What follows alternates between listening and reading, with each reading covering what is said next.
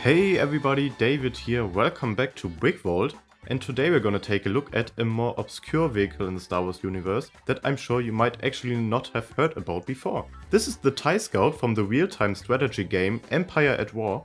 It's basically an Imperial FBI van and it's definitely one of the more bulkier designs of TIE fighters out there. We always love to expand our TIE collection, so let me know if you would like to see us branching out more towards the rather obscure and legend stuff, because there's still quite some variants to cover. Unfortunately, I don't have all of our ties in my studio as of now, but once they're all here, I'm definitely going to do a tie collection video. Let me know in the comments if that would be something you'd be interested in. Anyways, this custom LEGO TIE Scout was designed by Thrawn's Revenge, who designed the Flash Speeder as well and was involved in the design process of the ATDT, and Separatist Droid Battle Pack as well. You can see that Thrawn's Revenge is a connoisseur of the obscure and I personally really like that he gives some of these ships some love that would otherwise be disregarded in the LEGO MOC community completely. But before we get going, if you want to build this model for yourself, you can find the instructions and parts lists on our web store www.brickvault.toys, where we try to gather the most impressive and buildable LEGO MOCs in one place for you to build for yourself.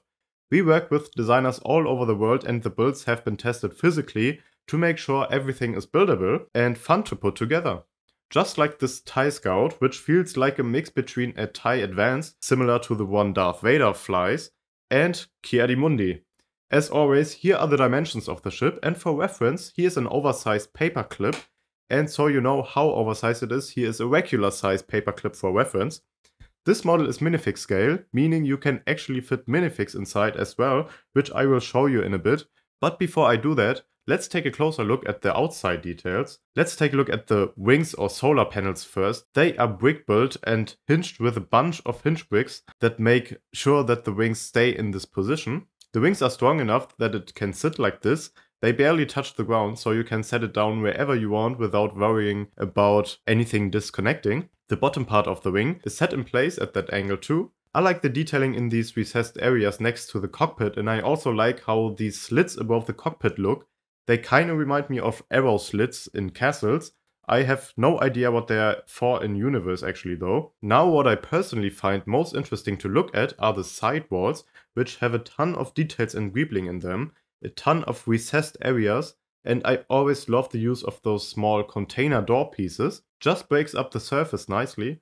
But what surprised me the most was on the underside because Thrawn's Revenge put an unprecedented amount of attention to detail on a section that will probably never be seen on display, which shows you how much the designer cared. This is just cool, what can I say? Now let's open this beast up and show the interior details. Of course you have room for a pilot in the cockpit, for that, just open the cockpit piece up and there are these three little flaps that you can fold out the way to get a minifig properly positioned inside. I found it helpful just removing a couple of the quarter dome pieces as well to get better access. Inside you have a couple of consoles as well as a couple of computers off to the side that you can angle towards the pilot, which is nice. You can barely see it here because it's a little tough to film, but you get the idea. And you can just close it up with the minifig inside, no problem at all. Now to access the main interior, you gotta take off this subassembly for the roof, which is connected with only two studs to make it easy. And inside you can see that you have plenty of space and details. This is a scouting vessel, so of course you have two seats in front of computers for the minifigs to look busy while scouting. I imagine the computer screens having those black screens with green writing rolling, because that's obviously what it looks like when you do important computer stuff. The floor is covered with grill tiles for that extra attention to detail and what's also really cool is the inclusion of two bunk beds at the back, just in case your mission takes a little longer. Wikipedia says that this ship has space for three people, so I'd say this is accurate to that, having two seats here and one for the pilot in front. Now for the handling section of the video, you can see this model is fairly strong. It's a hefty build with over 2000 parts, so I wouldn't pick it up from any of the wing assemblies, but what I found works the best is to just pick it up with two hands from the sides here. Please note that you cannot pick it up with one hand from the walls, because they would fold in if you put pressure on them from the sides.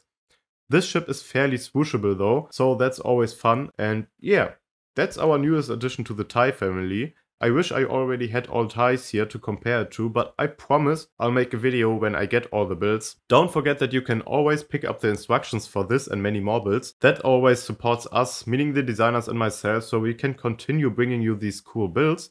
And especially with builds that are a little more niche, we need some more support than usual so we know that you guys actually like those and would like to see us do more sort of niche stuff in the future as well. Don't forget to like and subscribe if you haven't already. Yeah, nobody guessed this week's build right in the last video, obviously, so no one to shout out, but make sure to leave a comment with your guess what the next model release will be, and I'll shout you out in next week's video, and yeah, thanks for watching everyone, and we'll see you next time at Brickvault.